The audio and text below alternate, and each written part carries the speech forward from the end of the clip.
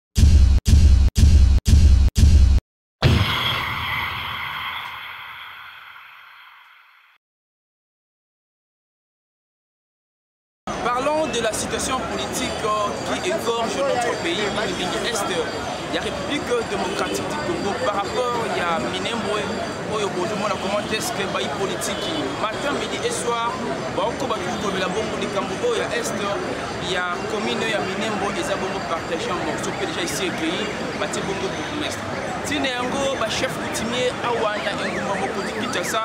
sous le haut patronage ye moko le chef spirituel ya mfumu befima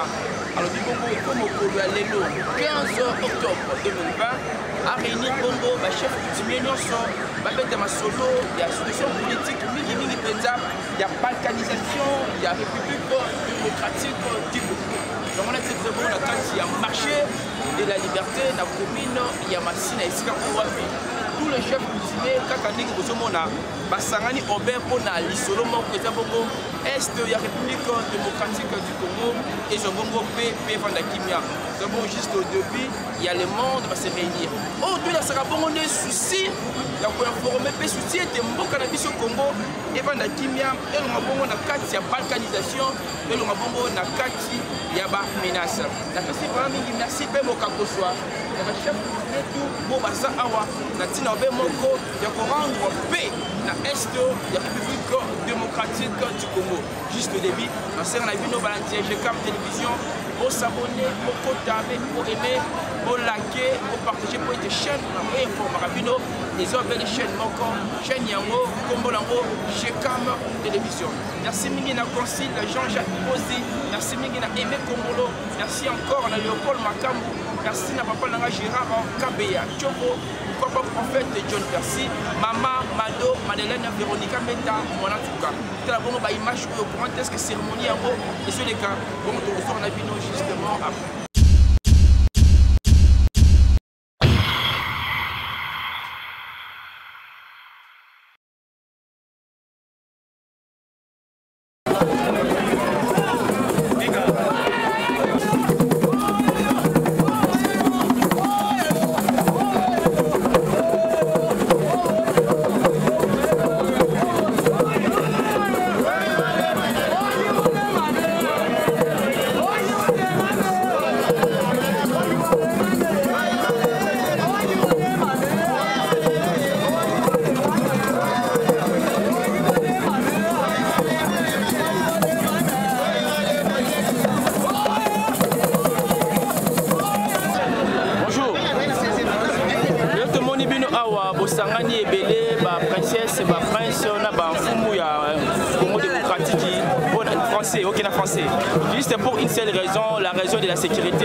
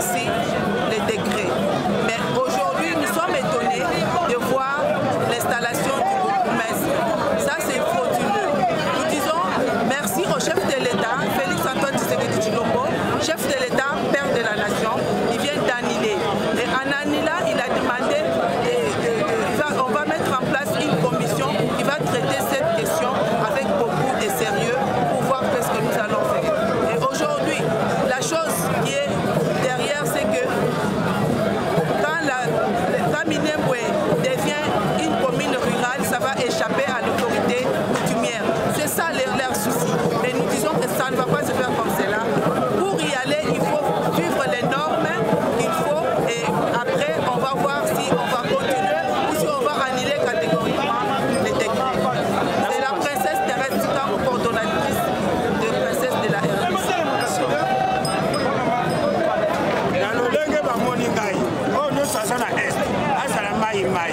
azala originaire ya congo ayebi ke kuna eza renaissance naissance ezaki epai ya mule ya mulele soki tosangani oba meme kimbangu meme kimpavita ayoba batinda nga mpo bayeba bokosi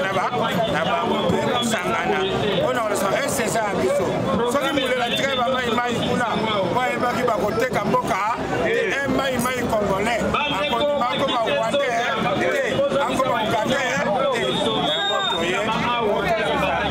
abele na biso kotekama te esengo mingi tozali biso mokolo mabe mabele batondo bakanisa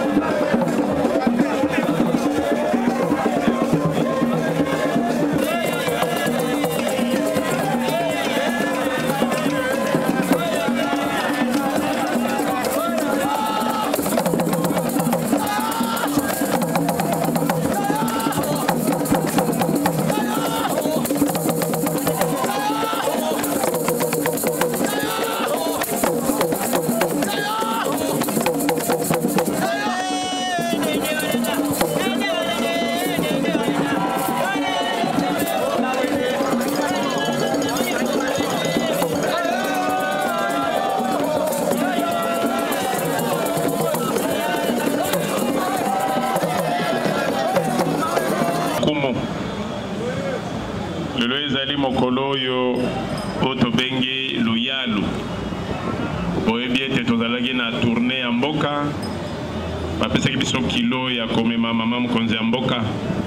kokotisa ye na mwanda koya kozongisa kinshasa boyaki mpe mingi mpo na koyamba ye na ntango alingi abima kinshasa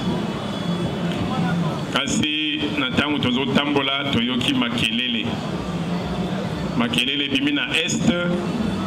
ya liboso makelele ya beni bitumba ebandi kozonga makasi koboma ebandi koya makasi Toyesi koyoka ya Minembwe ezongi, gouvernement congolais babengaki batuni bino ba chef bolobi nini? Nalobaki na bango ete naza na kilo ya mama nazongise na Kinshasa, soki nakomi Kinshasa nde tokopesa bino position na biso. Nde ntina ya point de presse ya lelo. Point de presse ya lelo ezali kopesa position ya ba chef coutumier epai ya chef de l'Etat, position ya ba chef coutumier epai ya Premier ministre, position ya ba chef coutumier epai ya vice-premier ministre, ministre ya Interieur, Securite et Affaires coutumier. Nayoki na slogan chef Eric Atuni, est-ce que Minembwe kokende? Tosi tolobaki mabele ya Congo ata un mètre kokendaka te. tozali wana nakotanga point de presse oyo nano na français nsima na kozongela yango na lingala mpe tokoyoka mituna ya bajournaliste soki baza na mituna ya kotuna biso merci bolanda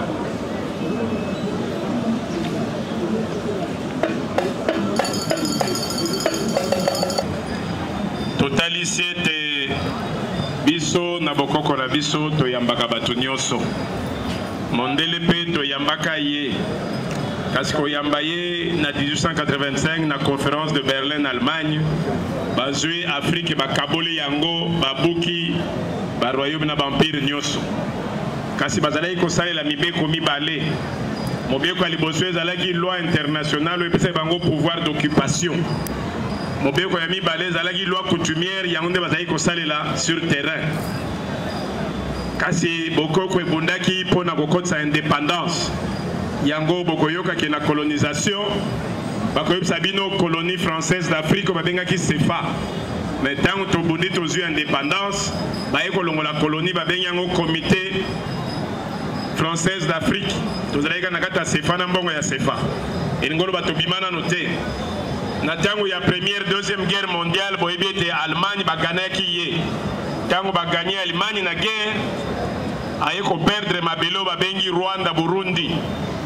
baanglais bazwi yango kasi baanglais lokola bazalaki na mwana na bango neve na bango roi ya babelge nde bapesaki contrôle na yango gestion na yango na belge nde tokomaki na Congo, Rwanda, Urundi oyo bazalaki kotambusela yango parti ya Boma na gouverneur general oyo azalaki représentant ya roi de Belge kasi topusani topusani bafrançais lokola mayele elekaki bango bake barécupere rwanda na burundi bakotisi yango na francophonie Topusani mwa mosika, ba anglais balobi fo tozongela eloko oyo. Mpo na kozongela yango baluki kosolola ezoya te, nde bango bato bakendaki koinstrumentalize batutsi oyo bazalaki na Uganda mpo bazongisa bango de force de façon que ba récupérer mboka wana. Bango nde bazongisaki batutsi na 1994 nde liwa ya president Habyarimana nde mobulu oyo esalemaki na Rwanda et ba français bamekaki opération tobengi opération turquoise mpo na komeka kosauve euh, rwanda mais bazalaki na impossibilité ntango kaka grande-bretagne angleterre a récupéré rwanda akotisi yango na commonwealth lelo rwanda ekoma na monde ya baanglais mpe azwi mpe place na kati ya conseil de sécurité ya nations unies ndenge moko mpe lokola rdc ezali mboka oyo tous les 14 signataires bayokanaka ezala eloko ya bango nyonso elingi oloba nanu tobimi nanu na kati ya baccord wana te baccord wana elobi likambo nyonso kosala fo tosolola soko découvrir mwa mini moko ya kitoko fo solola na bato nyonso soko osololi te tokoprovoke guerre to destabilise nde yango tolobi boye na février 2021 président de la république etienne naloba etienne félix antoine Etienne azokota nga na motu pole ye asi akendaki Félix Antoine Tshisekedi Tshilombo ye akokoma président ya Union africaine na février awa 2021 nde tosengi na ye kokota kokota afongola baaccord wana ya conférence de Berlin mpo na niveau ya Union africaine baabolir yango baabroger yango de façon que contrôle wana elongwa mpo balobaka continuité de l'état tant que babuki yango te nde boza komona bazotungisa afrique na modele nyonso bakoki kosenga baindépendance ndenge tolingi mais soki baprojet nano batexte wana te mondele ya kobombanaka toujours nsima na yango yango tosengi ntango ya kokota na union africaine atelemela yango mpo bafongola yango babuka yango toyoka yango lisusu te ndenge moko tolobi ete Mabele ya Gatumba, Gatumba oyo boyokaka eza na kati ya Burundi. Gatumba ezali mabele ya Burundi te, Gatumba ezali mabele ya RDC, ya Congo RDC. Kasi lokola bitumba ezalaka makasi na ntango ya regime ya Marechal, asalaki makasi te mpo akonserve yango ntango Burundi ezwi yango atikaka ekenda. Bapopulation ya Batutsi oyo bazalaki bakongole ya mabele wana bamataka bango nyonso na bangomba oyo ya uvira nde lelo ekomi lokola bazobomba masolo et pourtant soki okoki kozongisa bango na mabele na bango te pesa bango esika ya kovanda nokoki koimpose place ya kovanda te mpo moto nyonso aza congolais congolais ya liboso mpo ozana na mabele na yo na kati ya congo moto nyonso bakotuna yo clan na yo eza nini mabele ezali nde clan mabele ezali mpo congo alobi te ke sol esu sol appartient à l'état non loi bakajika elobi boye Likolo na se ezali ya l'Etat congolais. Meme loi elobi ete mabele eza mibale. Babengi yango terre publique de l'Etat. Donc moto akoki kokota su na mabele na biso te, surtout na loi oyo tozwaki. Aya aloba ngai nakoti mpo ministre atindi nga, nakoti mpo president atindi nga. Omoni ye benga na ye, loi na biso epekisi yango. Yango wana tosepeli mingi tokumisi nano Monseigneur ya Fizi. Tolandaki point de presse na ye alobi bino bankumu bakolo mabele sango alobi bino bankumu makolo mabele papa alobi bino bankumu makolo mabele nde esengo na biso lokola bareconnaitre ete nkumu nde makolo mokolo mabele bango mpe bazala nsima na biso mpo ete nkumu na nkumu akoka kobatela mabele na ye ye nde ayeba kopesa nani na nani mpo na kovanda Na Congo tozali na ba population misato. Population ya liboso ezali ba population autochtone. Population d'origine oyo nkumu avandeli nkumu nyonso aza na mabele na ye na peuple na ye wana lwa eyebi yango moto akolongola yango aza te ya minembwe ya fizi ya mwenga bango nyonso moto na moto shake nkumu ayebi mabele neti ezali eza likambo ya konegosie te population ya mibale ezali bapopulation bakimaka bisika na bisika baye epai na yo okoyamba bango kasi awa tozali na ka ya batuti makambo mibale esali bango mpasi na ntango ya regime ya maréchal azwaki nationalité congolaise apesaki bango de façon collective ntango aye koabolir décret na ye c'était trop tard basi bazwa nationalité tokoki kopimela bango nationalité congolaise te parce que eza kaka bango te bapays mingi na mokili basi bazwi banationalité ya rdc awa me komibenga mokolo mabele sa non soki oye epai na ngai na ntampa na kimwenza na nsabuka ngulu ya baka okokuta bapopulation baza ebele baluba batondi bangala batondi baswahili batondi nayambi bango mpo bazali bakongole me soki akosanya baza kolobaki mabele ekomi ya ye nakobenga na ye Ovandi na kati ya Fizi, ozandi wana, esengeli boyeba mibeko ya bokoko elobi nini. Kasi tosengi na chef de l'etat, ye nde azali garant, ye nde azali nkumu ya liboso, afongolisa ba barza communautaire oyo tobengi kinzonzi, ndenge tofongolaki na Congo central, ndenge tosalaka na Kasai na ntango ya Kamwina Nsapu, ndenge tosalaki na Ebola. Na Grand Nord, kobengisa ba nkumu, bango nde bazwa likambo na bango, bapesa solution. Moto akopesa solution na Munyamulenge, moto akopesa solution na makambo mabele, eza kaka chef coutumier, eza ministre te, eza ministre affaires foncières te, eza ministre intérieur te, eza chef de l'État te. Ye chef de l'État aza na pouvoir ya kogarantir ba Congolais, asangisa ba chef coutumier oyo bakolo mabele, biso moko tokopesa eyano ndenge nini tokokatela makambo wana soki na niveau ya bainstitution balingi kobebisa chef coutumier akozwa baresponsabilité na ye mpo tokondima te mabele ekenda ta metre okende te tosi tolobaki ntango ya mondele esi esili ntango ya bamindele mundele ndombe esi esili ekomi ntango ya bamwindu kongole tosengi na ministre na premier ministre abengisa ministre na ye ya defense abengisa ministre ya sante abengisa ministre intérieur et affaires coutumier abengisa na biso tocreye brigade spéciale de l'autorité coutumière totunana na masasi ya mondele na ya biso ndenge ekoloba kasi tozongeli ete soki mokonzi ya mboka na bainstitution ya mboka baumeli bakamwa te soki nkumwasi asali oyo ya ye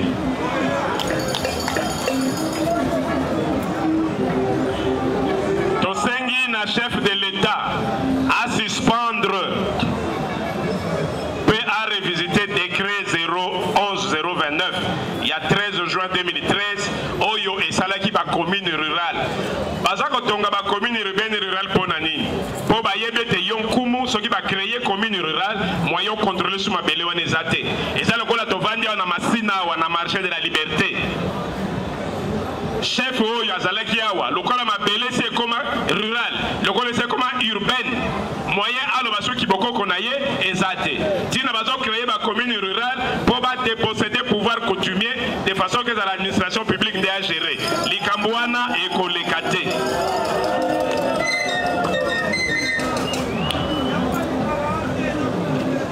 mpo na anatese tolobi boye mpo na anatese tolobi boye tobundaki mpo anatese etikala structure officielle interface ya gouvernement bino nyonso boza awa boyebi nga malamu boyinaka nga mingi boyinaka nga mingi Kasi tango toye kosolola na suka tolobi toyokana tovandisa alliance et proteger ba intérêt ya bato nyonso tobundela loi. Tango tosanganaki tobundaki loi eye kobima. Loi oyo e proteger na chef ya chefferie na chef ya groupement na chef ya village. Loi oyo e proteger mabele na bokoko. Loi epesi biso pouvoir lelo tovanda toloba na ba institution mpe toyebisa bango biso tolingi. Nde esengo na biso. Kasi toza kokamwa Tango tozalaki na 2014 mwami munongo azalaki na baproblème ne politiki ya katanga azalaki koswana bango na bango na bapolitisien ya katanga tokota yango te nde etindaka ye ademissione na 2014 toboyi aprofite na regime ya oyo ya lelo ya fccage to, to regime ya président tshisekedi akosana kozonga mpo yango nde eza kodestabilize alliance lelo tokomi komona na bato mosusu ya ntina te na kati Yango tolobi lokola babetaki arrete na bango ya lokuta wana epa ministre ya justice ntango azo démissionner tosi tosaisir ministre ya justice mpo arapporte yango toza na ntina na yango te mpo epai ya ministre délégué toyokanaki boye baele nyonso tovanda ndenge tozali ye moko ministre tokopesa ye calendrier calendrier wana nde ekosalaka tosala assemblée générale Na assemblee wana ekobanda na basecteur, territoire, province nde eye na Kinshasa. Ntango toyokani boye, Mwami Mulongo badevie. Ministre affaire coutumière alobaki, ministre delege alobaki, moto na moto atikala na position na ye ti ministère ekoconvoke. Mais aza kowumela mpe tomoni akomi na complicité ya kolia na gauche, kolia na droite. yango wana tolobi mpo na biso asali susu eloko te vice premier ministre intérieur sécurité affaire coutumière ye nde mokolo ministère ye moko azwa yango apesa biso décision ne ya suka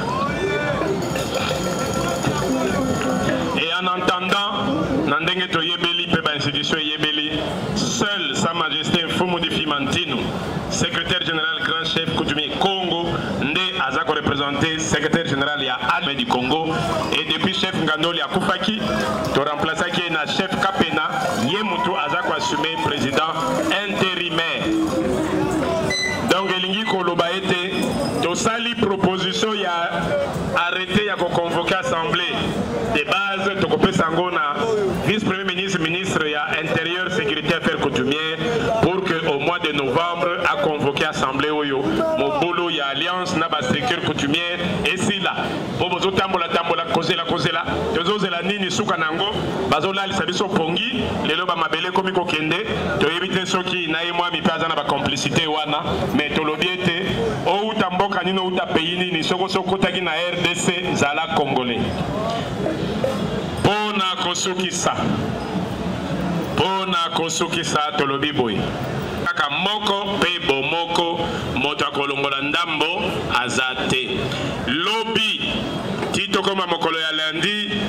tokopesa bino mokanda oyo ya president de la republique premier ministre ministre de l'intérieur ministre ya justice bokende kopesa bango mpo au mois de novembre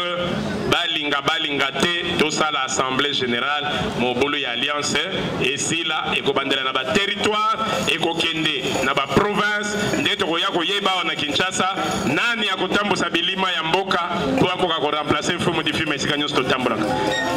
nasukisi boye mpo na lelo soki mituna ezali ekozala na bajournaliste bachef nayebi ke bosepeli mitema moto Mais bo lembisa toza na ba armes nyoso tolobaki ete Ebola ekokoma Kinshasa te tolobaki ete Ebola ekokatisa Goma te tolobaki ete corona ekolia mondele te akolemba biso tolobaki aya kosenga pardon tolongola Ebola corona ne na poto toza koinsiste tosepelaki mingi na docteur na biso Tamfumu boyebi Tamfumu docteur Muyembe Tamfumu Tosepelaki na ye mingi alobi ba koko nazosepela mingi mpo bozosala mosala na bino meme mai eza kobikisa bato yango wana tolobi biso tosi tolobaki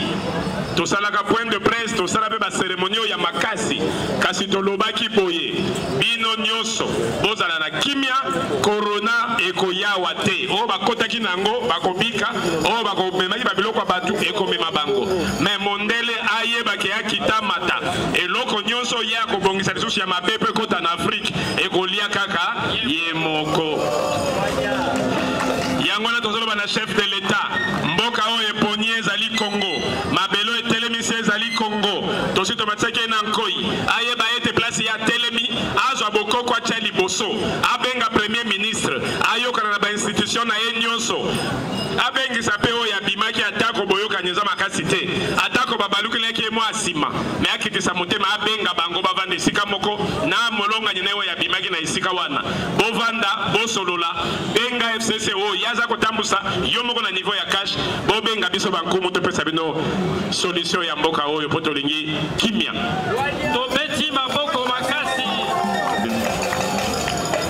Nzambe, Nzambe, Nzambe oyo ya bokoko.